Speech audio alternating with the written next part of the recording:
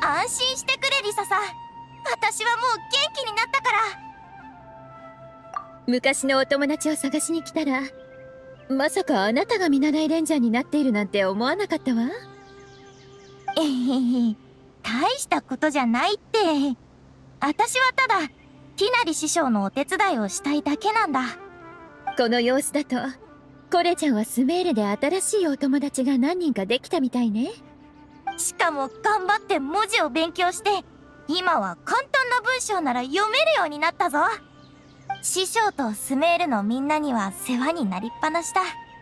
でもモンドの友達のことも忘れられないから最近は時間を見つけてみんなに会いに行こうとも思ってるんだ。リサさんみんなはどう？元気？ハンバーは？ガイアは？チンは？そう急がなくてもいいわよコレちゃん。ゆっくり話してあげるから。ごめんなさいね可愛い子ちゃん。少し時間をくれないかしら？